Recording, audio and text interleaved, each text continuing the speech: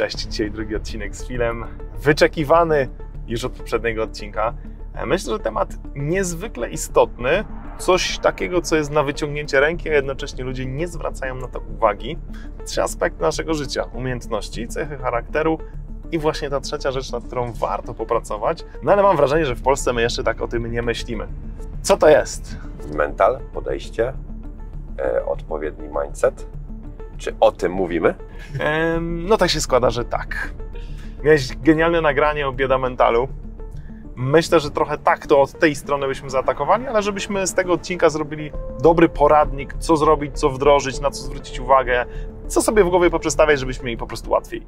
E, No dobrze. W każdym razie, jeżeli chodzi o bieda mental, to może też wprowadzenie, czym w ogóle jest bieda mental, bo może nie wszyscy oglądali ten mój film. Sobie wymyśliłem pojęcie bieda mental, czyli mental biednego e, człowieka w inwestycjach. E, I chodzi tutaj o to, że niestety osoby, które mają mniejsze pieniądze, grają zupełnie inną grę niż te osoby, które mają bardzo duże pieniądze. Ja jakiś czas temu mówiłem także o wdzięczności. Mówiłem o tym, że warto jest budować w sobie wdzięczność, ponieważ wdzięczność to jest lekarstwo na całe nasze życie.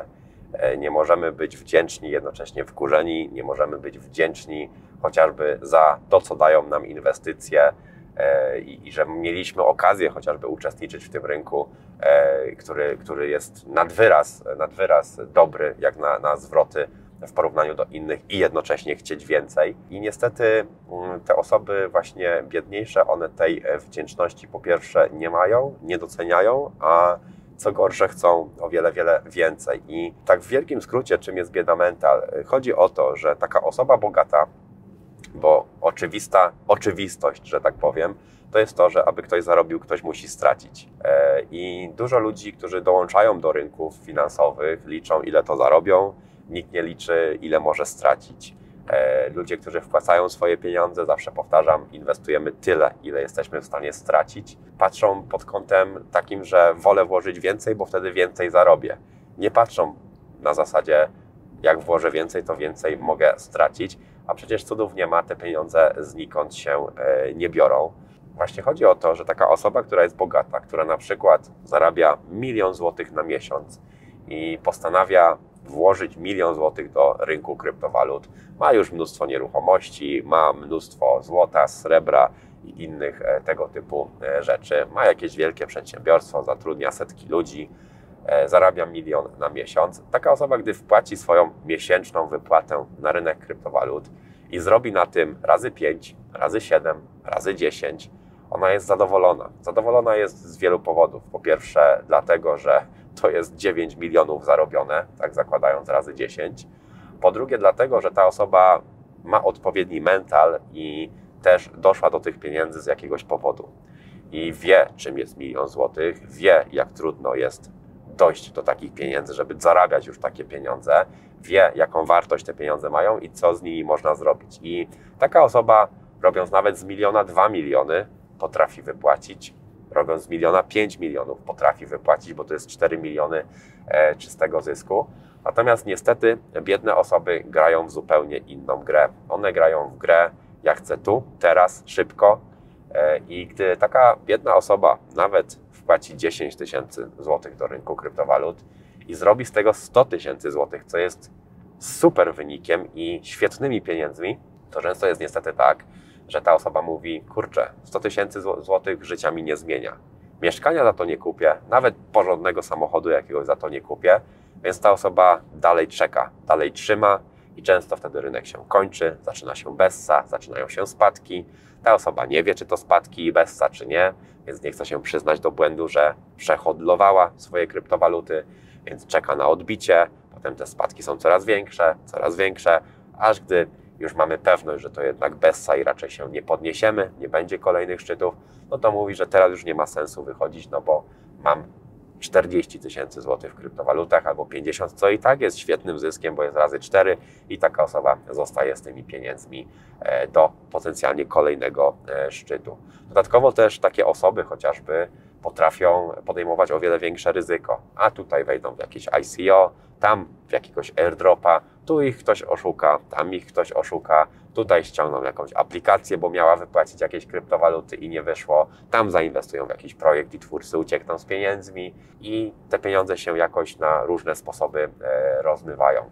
Wejdziemy sobie w DeFi, będziemy grali na dźwigni na tym DeFi'u, przejdą spadki Ethera, szczyści nas i też nam urwie ten kapitał i te osoby nie myślą o tym, jaki mają efekt końcowy, bo dla przykładu widzą, że tu zarobiłem 100%, tam 200%, tu 300% na jakimś coinie, ale nie patrzą, że tutaj straciłem 100%, tam straciłem 100% i tutaj też 100%, bo te projekty mi upadły. Jaki jest efekt końcowy, jaki jest total, e, który masz? I właśnie o to chodzi w bieda mentalu, że niestety kapitał znowu płynie do bogatych ludzi. Bogaci robią jeszcze większe pieniądze, czyli pieniądz robi pieniądz, bo są wdzięczni za to, co zarobili, bo duży kapitał wsadzony w rynek kryptowalut, który nie musi być dla nich dużym kapitałem, robi konkretne pieniądze, a ci biedni po prostu, e, po prostu uważają, że te pieniądze nic im nie zmieniają i popełniają e, szereg błędów. Kluczem do tego wszystkiego jest właśnie zmienienie sobie mentalu i granie, mimo tego, że jesteśmy biedni, tak jak bogata osoba. I wyciągnięcie tego horyzontu w czasie, e, czyli nie, ja muszę zarobić teraz tu, now, zaraz w 4 lata, tylko chociażby w 8 lat, w dwa cykle. I tak jak chociażby rozmawialiśmy przed chwilą, ludzie nie mają kompletnie problemu z tym, żeby chodzić gdzieś do roboty na 40 lat do pracy, ale mają problem, żeby poczekać 8 lat na emeryturę, na przykład za pomocą rynku kryptowalut.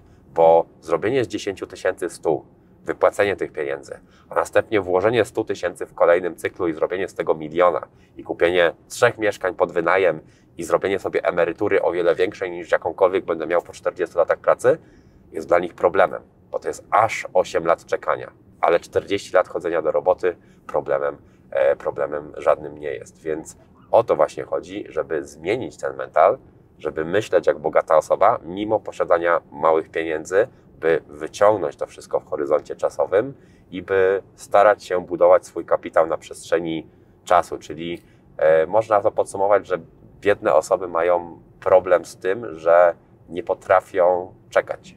Są teraz w tej chwili natychmiast. No tak, bo to co powiedziałeś o tym wydłużeniu horyzontu czasowego, że my jesteśmy w stanie na coś poczekać, bo to, co ja widzę u Ciebie versus u różnych osób, to Ty mówisz, kupuję nieruchomości złoto, srebro na całe moje życie. Ja nie planuję tego sprzedać, musiało być, nie wiem, jakiś kataklizm, żebyś w ogóle rozważał sprzedanie czegokolwiek. Czyli Twoim horyzontem czasowym jest nieskończoność. Dla wielu osób, które obserwujemy, które grają na przykład w Totolotka, to jest tu i koniec, to ma być naraz, od razu, chcę wygrać, albo jak nie wygram, to będę grał w kółko. I samo rozciągnięcie tego horyzontu czasowego, że ok, ja daję sobie 10 lat, żeby poprawić swoje życie, to to jest fajny okres. Nie będę pracował 40 lat. No bo zobacz, taki w ogóle koncept myślowy, czy jakbyś miał gwarancję, że za 10 lat będziesz milionerem, to czy wiesz, podpisałbyś cyrograf, no może nie cyrograf, podpisałbyś umowę, że będziesz robił po prostu proste kroki, że przez 10 lat inwestujesz zgodnie z Twoją strategią? No jasne, że tak, bo wiem, że czekam na mnie milion. A jednocześnie ktoś mówi, a nie, ten milion za 10 lat to jest za długo, ja będę robił po swojemu. I popełnia tu i teraz masę błędów, które uniemożliwiają zrobienie tego miliona. Myślę, że takim w ogóle szokującym elementem jest to porównanie garaży, co ci dają garaże, które mógłbyś kupować, do tego, ile daje ci rok pracy. Jakbyś to to mnie, to mnie zszokowało. No bo tak, była taka historia kiedyś, że y, śmiano się, że ktoś inwestuje chociażby w garaże, które przenoszą na przykład 100 zł e, na miesiąc jeden garaż wtedy, w tamtych czasach.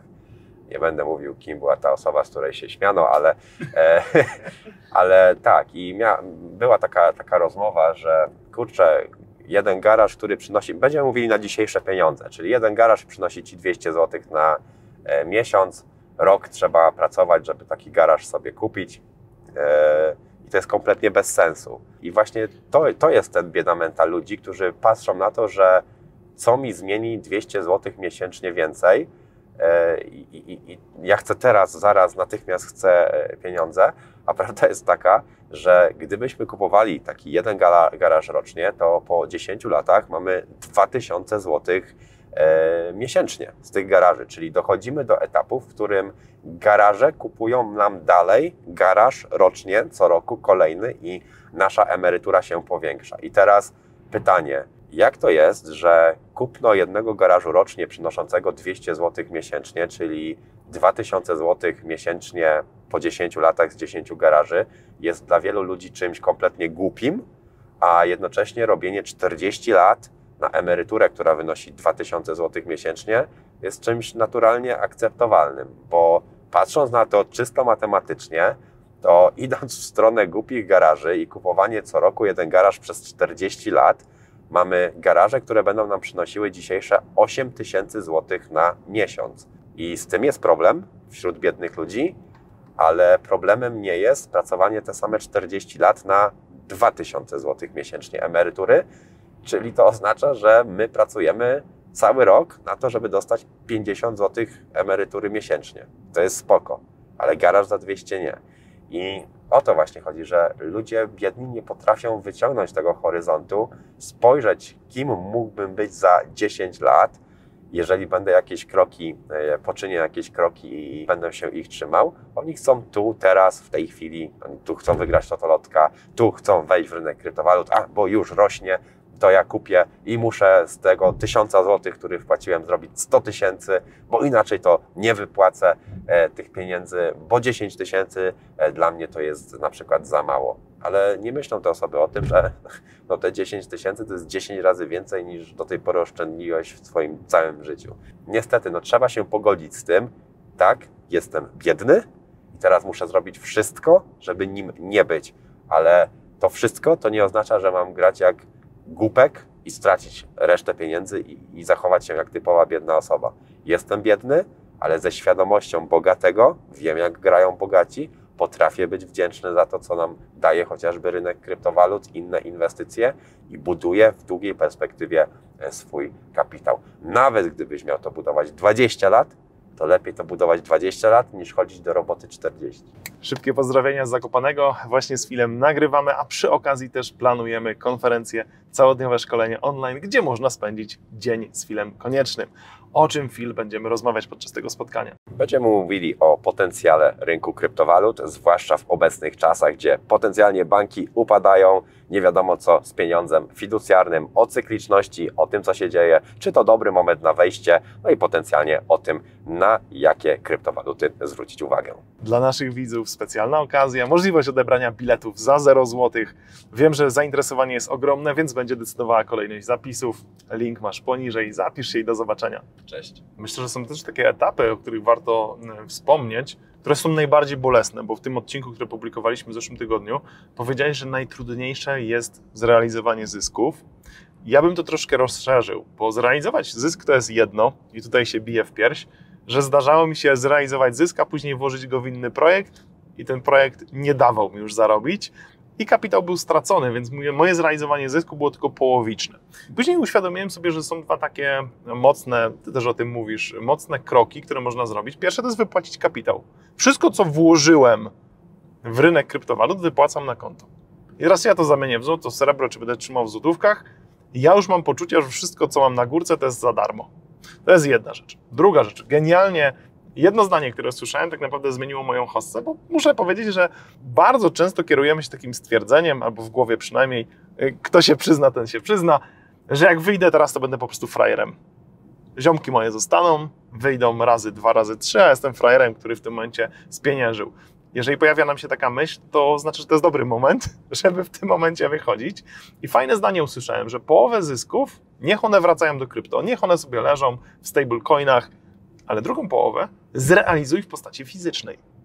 Niech to będzie nagroda dla ciebie, że, wytrzymałeś, niech to będzie zegarek, niech to będzie garaż, niech to będzie mieszkanie, niech to będzie złoto, srebro, albo coś do domu, odkurzacz, termomix, co chcesz. Ale wypłać sobie, bo teraz takie czekanie na nie wiadomo co i bije się znowu w pierś, bo oczywiście nie wyszedłem w idealnym momencie, zarobiłem fajnie, ale mogłem wyjść dużo lepiej, to gdyby nie te kilka niuansów i konceptów, ja bym pewnie niczym nie wyszedł, bym został w tych kryptowalutach i dalej bym trzymał ten worek, który został mi w altcoinach z samej góry. Dramat, nie? Dramat, dramat. E, ale powiem Ci, że ja też się na to złapałem, na to wychodzenie moje. Mhm. E, na szczęście wyszedłem przy tych 55, 60, 65, 30%. Resztę zamieniłem na e, bitcoina, czyli w długiej perspektywie znowu potencjalnie powinno wyjść jeszcze lepiej, bo gdzieś tam był bitcoin 80%, 10% Ether, 10% Binance Coin. Więc biorąc pod uwagę cykliczność, no dla mnie wyszło to bardzo dobrze, tak? Z tego względu, jak, że chociażby ja już wtedy miałem kłopot, co z tymi pieniędzmi e, zrobić, z tymi fiatami, które wypłaciłem i latałem wszędzie i kupowałem masowo różne, różne dziwne rzeczy, e, a to nieruchomości, a to właśnie te pensjonaty, a to chociażby, ale wiesz, to było takie, kurde, mam kasę, szybko trzeba ją wydać, bo tu, a tu inflacja, a tu coś, mhm. wiesz, więc wiem, że gdybym wyszedł z 100% na przykład, no to mhm. byłaby lipa, strasznie by było. Miałbym problemy, co, co, co z tą kasą robić, więc dla mnie w sumie wyszło spoko, gdzieś te pieniądze przeczekały w Bitcoinie, e, bardzo fajnie to się rozciągnęło i potencjalnie znowu będę realizował zyski na e, kolejnej, kolejnej hoście. Natomiast też się na to złapałem. Niestety dużo osób nie bierze tego pod uwagę, ale no Phil Konieczny to jest też taki zwykły inwestor taki jak każdy inny. Ja, wiesz, kto, ty, ktokolwiek inny, my wszyscy jesteśmy takimi samymi inwestorami. Może mamy różne, e, różne, różne strategie, ale jesteśmy inwestorami e, na tym samym rynku. I teraz u mnie różnica jest taka, że jestem inwestorem, który oprócz tego ciśnienia normalnego inwestora ma jeszcze 300 tysięcy ludzi, którzy patrzą mu na ręce. I to było dla mnie bardzo straszne, bo właśnie ja poczułem to, aż jak mówiłeś, to tak mi się przypomniało, to poczułem właśnie o czym mówiłeś, czyli kurczę, konieczny wychodzi przy 55, 60, 65, a nie daj Boże urośnie do 200, 300, 500 tysięcy dolarów. I co powiedzą ludzie? Bo wiesz, każdy patrzy już przez pryzmat tego, co się wydarzyło. Każdy sobie czyta wykres w lewo nie patrzy, jakie były emocje wtedy, nie patrzy, jaki był rynek. Nawet nie będą patrzeć na to, że konieczny mógł wchodzić w bitcoina, wiesz, od 2013 i kupować go za 1000, za 800 dolarów, za 500 dolarów, za 200 dolarów. I, I ma na tym, wiesz, dzisiaj na bitcoinie mam razy 50, tak? W samym, gdybym chciał wychodzić. Nie patrzą na to, patrzą, wyszedł, nie miał jaj, nie przetrzymał. I były takie komentarze, gdy wychodziłem przy 55 pierwszą partią, nie mam jaj, 100 tysięcy to jest minimum, e, za wcześnie wychodzisz e, i wiesz, i to, to było ciężkie dla mnie. Natomiast też jako inwestor się uczę i to mnie nauczyło, że właśnie wychodzimy wtedy, kiedy nas boli, e, kiedy wszyscy krzyczą, że nie masz jaj i to mi też pokazało, że no większość nie może mieć racji i większość nie może wyjść w dobrym momencie wyjdą w dobrym momencie nieliczni, a dobry moment to jest wtedy, kiedy większość myśli, że to nie jest dobry moment, bo jeszcze będzie rosło. Więc też bardzo ważna, cenna lekcja. Wchodzimy i wychodzimy, kiedy nas boli. No i niestety wychodzenie, wychodzenie. Są różne typy inwestorów, to też jest osobny wątek, jakby. Są tacy, których bardzo bolą spadki e, i ciężko znoszą spadki, i są tacy, którzy ciężko no, znoszą wzrosty. I ja jestem właśnie takim inwestorem, którego kompletnie, ale to kompletnie nie ruszają spadki. Ale no, Bitcoin by dzisiaj spadł na 100 dolarów, to mhm. bym po prostu wziął i dokupił. I lecę, lecę do końca z nim, wiesz, z tym okrętem albo, mhm. albo na dno, albo, albo tam, gdzie chciałem dojść. Zero emocji w tym, z tym jest związanych, ale wzrosty powodują u mnie już e, emocje robi się w mojej głowie właśnie coś takiego, że a może poczekam e, dłużej, bo ludzie na mnie patrzą, nie chcę wyjść za wcześnie. Już nawet nie chodzi o same te pieniądze, bo mogą ludzie mieć chociażby taki problem ze względu na pieniądze, bo jak ci codziennie masz portfolio warte 5 tysięcy, 50 albo 100 tysięcy złotych więcej, no to ciężko jest powiedzieć we wtorek rezygnuję ze środowych 100 tysięcy, nie? I wychodzę dzisiaj we wtorek, koniec dziękuję, mam gdzieś, jeżeli jutro w środę będzie 100 tysięcy więcej. Ciężko jest to powiedzieć. Ja już mając pieniądze nie mam czegoś takiego, ale mam właśnie ten problem, że patrzy na mnie 300 tysięcy ludzi i, i, jest wielu, którzy wiesz, każdy mikrobłąd będą chcieli e, wytknąć. Spójrzmy tak na papierze. Wiele, du, du, wiele czasu, dużo czasu mówiłeś o tym, gdzie wchodzić w Bitcoina, na przykład on był po 5000 dolarów, tak? To jakbyś wtedy sobie powiedział, ok, teraz wkładam za 5000 dolarów i wyjdę razy 10 przy 50 tysiącach, to czy byłbyś zadowolony w momencie tej decyzji? Jak najbardziej tak, dlatego też moim kursantom y, podpowiadam, że jak teraz wchodzicie, jeżeli ktoś w ogóle dołączy teraz do rynku kryptowalut, to jest to idealny czas, żeby pomyśleć, w ile by było, ile by musiał Bitcoin urosnąć, żeby było fajnie, albo na, nawet nie chodzi o samego Bitcoina, no bo e, przecież możemy być i w Ethereum, i w, i w Binance Coinie, tak jak ja siedzę, później w altcoinach gdzieś tam będziemy przechodzili, ale pomyślmy sobie, kurczę, tak realistycznie z tym właśnie poczuciem wdzięczności za zyski wpłacam 10 tysięcy złotych. Czy jak będzie 50, to będę zadowolony? Czy dopiero będę zadowolony, jak będzie 80? Czy jak 100? Ten poziom sobie mniej więcej oszacować i zapisać sobie to gdzieś na jakiejś kartce, przywiesić na ścianie obok komputera, na którym e, używamy właśnie tego całego rynku kryptowalut i zostawić tą kartkę właśnie na późniejszy czas, bo potem mental strasznie się zmienia, dojdziemy do tych 80, 50, 100 tysięcy czy iluś i człowiek mówi, a jeszcze trochę, a poczekam jeszcze tydzień. I to powoduje, że kapitał właśnie idzie od tych ludzi, którzy powiedzieli dość, do tych, którzy powiedzieli, a poczekam jeszcze trochę. Powinna być taka opcja, że w momencie, kiedy wchodzisz, e, ustawiasz poziom wejścia, ten poziom wyjścia automatycznie się realizuje, wypłaca ci pieniądze i idzie za ciebie do notariusza i kupuje ci nieruchomość, na przykład jeżeli chciałeś kupić nieruchomość, albo kupuje ci to, co miałeś w planach, bo faktycznie ta realizacja jest, jest bardzo trudna. Miałem ostatnio taką fajną rozmowę e, właśnie z osobą, która siedzi w krypto w zasadzie od samego początku. Firma IT, e, fan blockchaina, i on mówi, że z wszystkimi trade'ami, i on wiesz, jeździł na wszystkie konferencje bitcoinowe, kryptowalutowe, siedział w tym rynku, znał ludzi, i on mówi, że on więcej zarobił na portfelu, o którym zapomniał, że go ma, niż na tych całych działaniach, które wykonywał świadomie, mając poczucie, że ma dostęp do wiedzy, wiesz, insider trading. Tak, ale to jest, e, on tylko potwierdził to, co jest bardzo znanym faktem na rynkach inwestycyjnych. Okazuje się, że e, e, była firma, która badała zyski różnych inwestorów E, na portfelach. E, to akurat chodziło o jakiegoś brokera, za pomocą którego ludzie inwestowali. No i się okazało, że statystycznie e, największe zyski robili ludzie, którzy zapomnieli hasła albo w ogóle zapomnieli, że mieli tam pieniądze.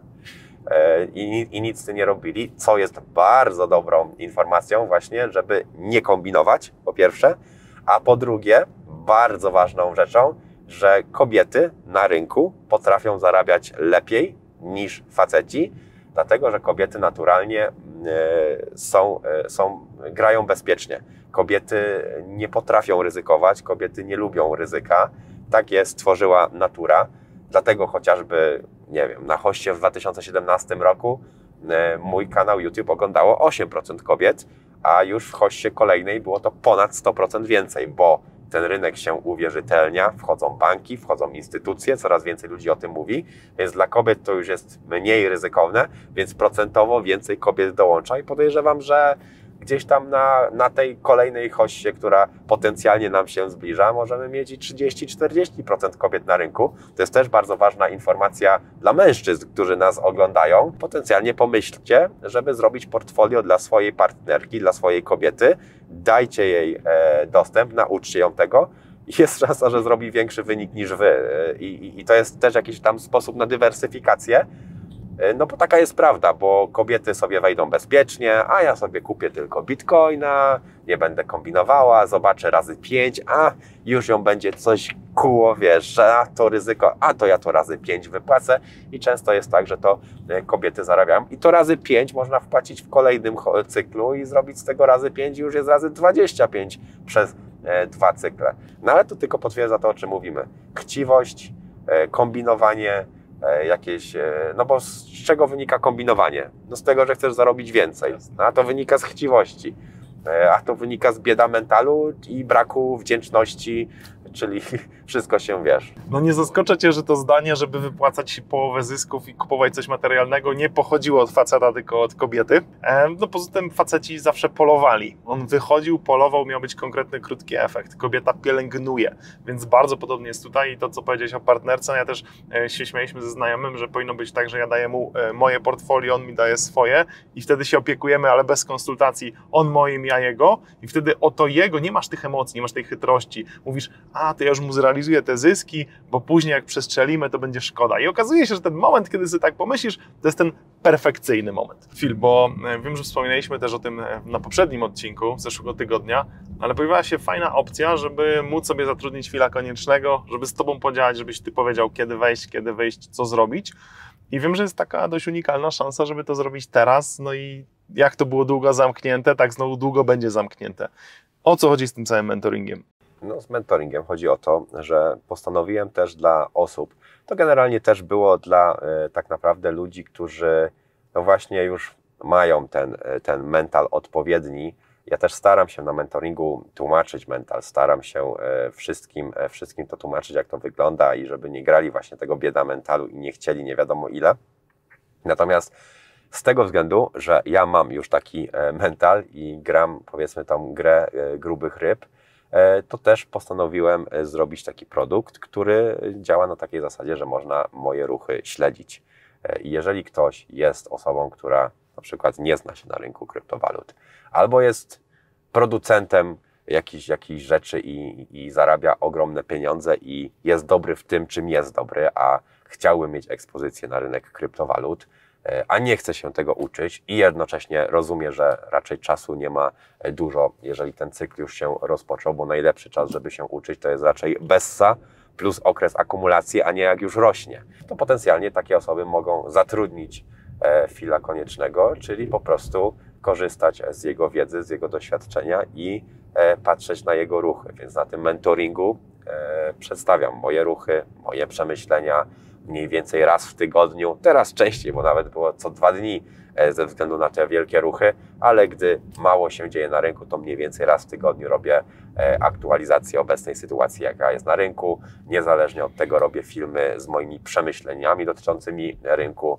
e, pokazuję jak wygląda powiedzmy moje podejście do rynku, co ja bym w danym momencie zrobił, jak wygląda moje portfolio, co kupuję, czego nie kupuję.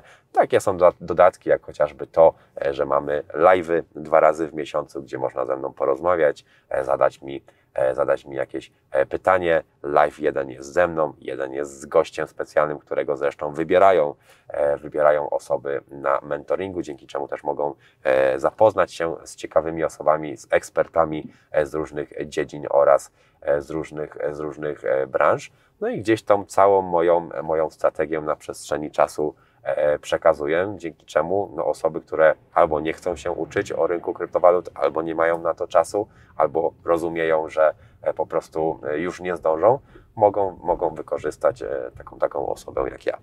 Bardzo fajnie wcześniej powiedziałeś o tym nadmiarze gotówki, nadmiarze fiatów, że nagle trochę parzyła cię gotówka, nie wiedziałeś co z tym zrobić. I zobaczcie, że to jest dokładnie to samo, tylko w odwróconej wersji. Ja mam swój biznes, ja nie będę ekspertem kryptowalut. Ja nie będę w stanie spędzać tylu godzin, ile ty spędzasz na kryptowalutach, ucząc się, edukując i szukając różnych zależności, no bo jak mówisz, sam spędzasz wszystkie godziny, które masz właśnie na rynku kryptowalut. I taka jedna rzecz, która zawsze boli, wydanie kasy, nie? Powiem Ci z mojej perspektywy. Myślę sobie tak, kupię sobie mentoring chwila i wydałem właśnie pieniądze. A z drugiej strony, jakby to obrócić, wydam pieniądze na mentoring, żeby nie popełnić głupich błędów, żeby ten film mi powiedział, tu wchodzisz, tu wychodzisz, żeby zrealizować większy zysk niż pierwotnie zakładałem, no to realnie, jeżeli ja będę grał sam, wejdę w złym momencie, wyjdę w złym momencie, zrobię razy 3. Gram kapitałem 10 tysięcy. Zrobiłem 20 tysięcy zysku. Jeżeli zrobię razy 5, no to mam dodatkowe 20 tysięcy zysku z tego samego kapitału, tylko dlatego, że wszedłem może tydzień wcześniej, że wyszedłem tydzień wcześniej. Drobne rzeczy, na które osoby nie zwracają uwagi, że w zasadzie szukanie wiedzy, która jest skondensowana, skompilowana, że ty siedzisz i mówisz, to jest dobry moment, jest bezcenne. To dlaczego część osób powie, e, ten film konieczny to naganiacz? Taki też mamy mental e, w Polsce i ja się w ogóle, e, w ogóle tym osobom nie dziwię, ponieważ na e, pierwszy taki rzut oka ma to sens, też co mówią te osoby. I jak, jak świat światem, od zawsze ludzie dzielili się na dwie grupy. Jednych, którzy uczyli się na swoich błędach, a innych, którzy woleli uczyć się na cudzych błędach i gdzieś te powiedzmy błędy omijać. I tak po prostu e, zawsze było. E, są osoby, które wolą na przykład samemu e, uczyć się języka chociażby angielskiego, a są osoby, które wolą pójść na przykład do jakiejś szkoły albo kupić kurs języka, języka angielskiego. E, i, i, mieć nauczyciela. Są osoby, które same uczą się grać na gitarze i są osoby, które biorą sobie nauczyciela, który uczy ich gry na gitarze i gdzieś tam to wszystko e, koryguje. Jesteśmy w górach. Jest wiele osób, które postanawia samemu uczyć się jeździć na snowboardzie czy też na nartach, co różnie, różnie wychodzi. E, I są osoby, które robią to moim zdaniem mądrze, biorą instruktora na tydzień, po dwie godziny dziennie i po tygodniu potrafią, potrafią jeździć. I właśnie dużo osób, które uznaje zasadę uczmy się na e, swoich błędach i nie kupię szkolenia, nie kupię kursu, sam się nauczę gry na gitarze, sam pójdę na narty i sam tego nauczę, nie patrzą na te wszystkie utracone pieniądze, które mają po drodze, bo teraz pytanie jest, ile czasu poświęciłeś na to, żeby samemu się nauczyć? Ile zapłaciłeś e, dni i, i, ile wydałeś na karnety wjazdowe, e, żeby się samemu nauczyć i pytanie, czy jeszcze się nauczyłeś i czy odpowiednio i z odpowiednią techniką, a ile by Cię to kosztowało, gdybyś na przykład poszedł na 10 godzin z instruktorem. E, I tak samo jest chociażby w rynku. E, część osób mówi, a ja sam e, się nauczę, sam to zrobię, jasne, jak najbardziej, e, jak najbardziej jest taka opcja. Ja zresztą sam taką drogą e, szedłem, że sam się uczyłem, tyle że no ja taką drogą szedłem, bo musiałem, bo nie było wtedy takich osób jak ja, ale jestem z natury osobą, która chętnie by się doszkoliła. Mam też Twoje szkolenie z nieruchomości, mam, nie, mam, mam wiele szkoleń dotyczących, dotyczących nauki języków. Nawet ciekawostka, jakiś czas temu kupiłem szkolenie z mowy E, z mowy, jak mówić, jak przemawiać, e, gdzieś tam e, takie, takie lektorskie, żeby gdzieś tam te moje, moje zdolności w mówieniu polepszyć. A przecież umiesz mówić. No właśnie, przecież umiem mówić, więc po co miałbym, miałbym kupować szkolenie z tego, jak mówić? Zwłaszcza, że kupiłem je po sześciu latach tworzenia filmów na YouTubie, na których mówię. Więc no różne są podejścia do ludzi. No i niestety no, te osoby, które gdzieś tam mają takie podejście typu a ja zrobię to sam, nie biorą pod uwagę tego, a co jak mi nie wyjdzie, a co jak przechoduję, a co jak popełnię błędy, ile na tym zarobię, albo co jak nie zarobię. I teraz pytanie, czy lepiej jest zainwestować w swoją wiedzę, edukację i skorzystać z doświadczenia kogoś, kto na rynku jest od 2013, czy lepiej jest na przykład zrobić to e, samemu i automatycznie trzeba uznać, że zrobimy to przynajmniej tak samo dobrze albo lepiej niż ktoś, kto jest od 2013 na rynku. No jeżeli ktoś uważa, że przejdzie przez rynek lepiej, będzie miał lepsze doświadczenie i ma, zdobędzie lepszą wiedzę niż ktoś, kto jest od 10 lat, no 9, bo to była końcówka 2013, czyli od 9 lat jest na rynku i my, którzy właśnie dołączamy, zdobędziemy te 9 lat w pół roku, może to zrobić, może jak najbardziej spróbować, tylko potencjalnie jest szansa, że będzie się uczył na swoich błędach i jak kosztowne one, one będą.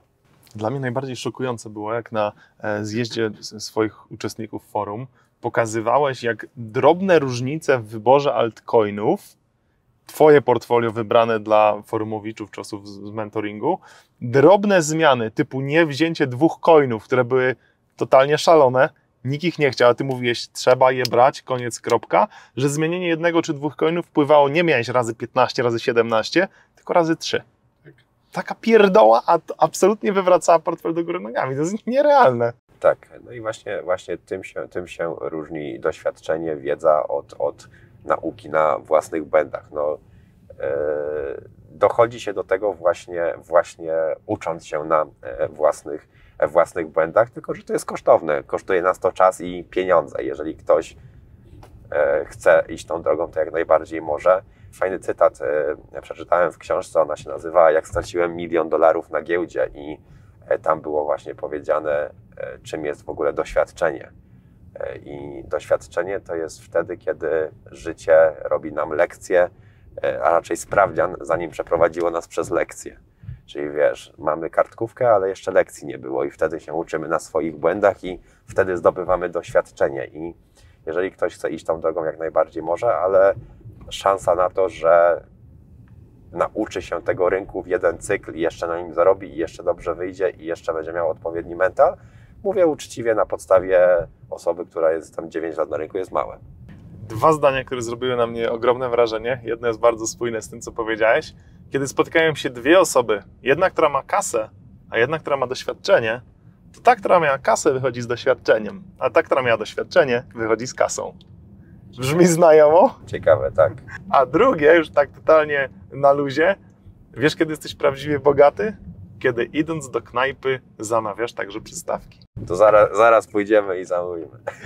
Dokładnie. E, czy jeszcze chcesz coś dodać, czy tym pozytywnym akcentem domykamy odcinek? Jasne. Kończymy odcinek e, niezależnie od tego, czy ktoś chce skorzystać z mentoringu, czy nie, bo to też e, wyszło jak taka reklama mentoringu. Mi jest, mi jest to e, powiedzmy obojętnie. Jest taka możliwość, jeżeli chcecie dołączyć. Natomiast niezależnie od tego, przysiądźcie nad własnym mentalem, e, przeanalizujcie siebie. Ważne jest też to, jak wyglądało nasze dzieciństwo. Czy nie mamy wgranych e, w nas jakichś takich E, powiedzmy przekonań, które będą nas niszczyły. E, ważne jest to, jeżeli będziecie chcieli sami przechodzić przez hossę, żeby ułożyć swój mental pod inwestycje, bo tak naprawdę mental to jest ten autopilot, który będzie odpowiadał za Wasze decyzje. To nie Wy podejmujecie decyzje świadomie, tylko podświadomie właśnie na podstawie programu, którym jest Wasz mental. Dokładnie, tym pozytywnym akcentem domykamy. Dzięki Phil, dzięki za obejrzenie. Dzięki, pozdrawiam, cześć.